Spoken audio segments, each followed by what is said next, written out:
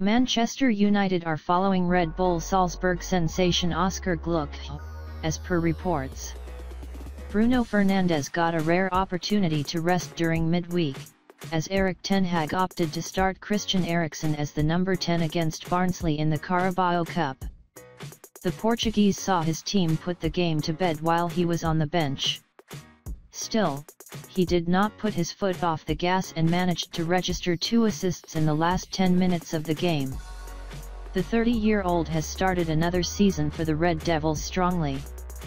However, as we saw towards the end of the last campaign, Fernandes cannot be expected to maintain his intensity and creativity all season without proper management of his minutes. The club's hierarchy seemingly recognize that and appear to be in the market to find a young playmaker to replace Fernandes.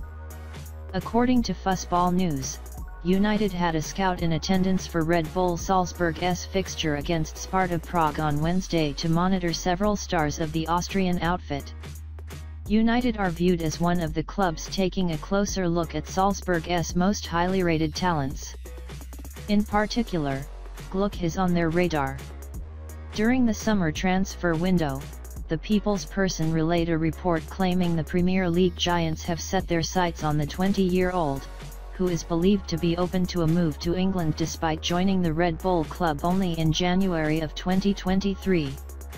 The report from Fussball News suggests the attacking midfielder is being followed, potentially as a long-term replacement for Fernandes. His development is now being monitored more closely.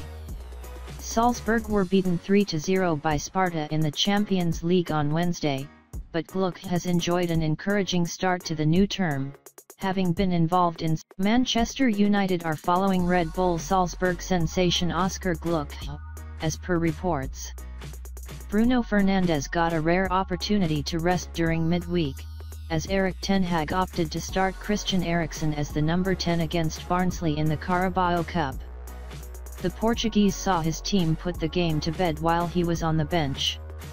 Still, he did not put his foot off the gas and managed to register two assists in the last 10 minutes.